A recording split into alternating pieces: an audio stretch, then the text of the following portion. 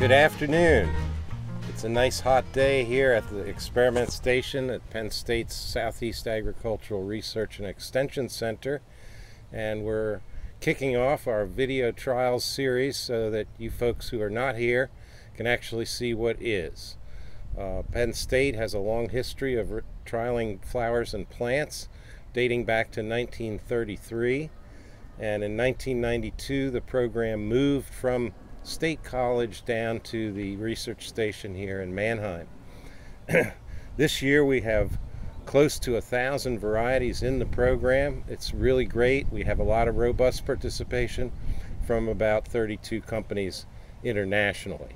And I'm here with my colleague Crystal Snyder, and we're here to talk about the introduction to our flower trials season. So I'm standing in Petunia land, as we like to call it. This year we have 109 Petunia entries, which is by far our largest category of uh, plant entries in our entire almost thousand trials. Um, right behind me here is this great Petunia Evening Sensation. It smells fabulous. It's from American Takii.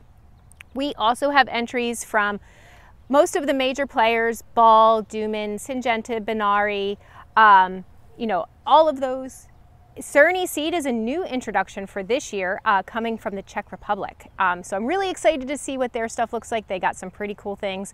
Um, and I think that's about it for, from petunias. Another really wonderful group of plants that we see every year are the Calibrachoa entries. And this year we've got a little less than we've had in past seasons, but they're really stellar plants. Fantastic colors, really great habits, and again, representatives of uh, quite a number of companies have entered in this program. this is one called Tiger Tail, which is a real strong performer, rich colors, great habit, and we'll show you some more of these.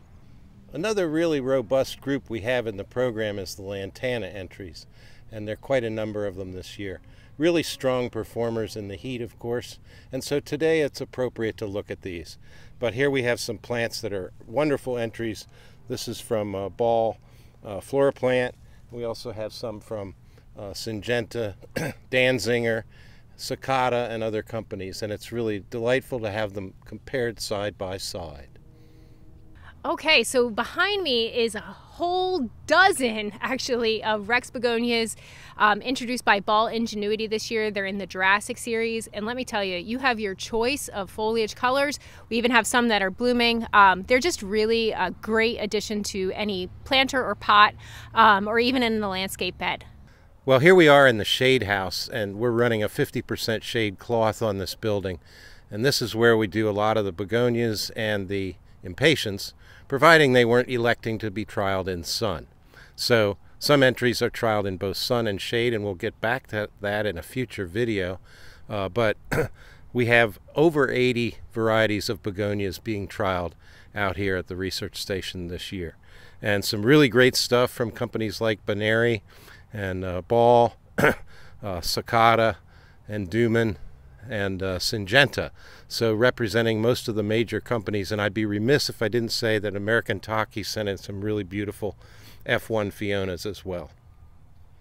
All right, so I'm going to highlight a handful of our begonias here in the shade house. Um, I would say some of my favorites are the big series from Benary, uh, especially this big white. Um, it's so gorgeous with a green leaf and a white flower. It was a new introduction last year.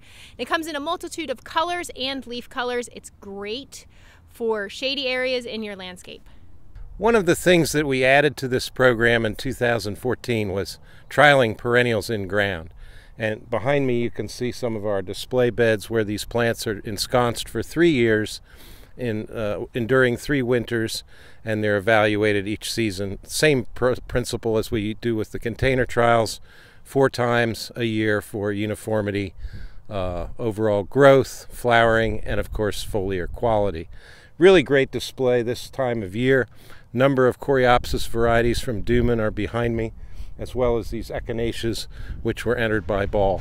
Lovely stuff.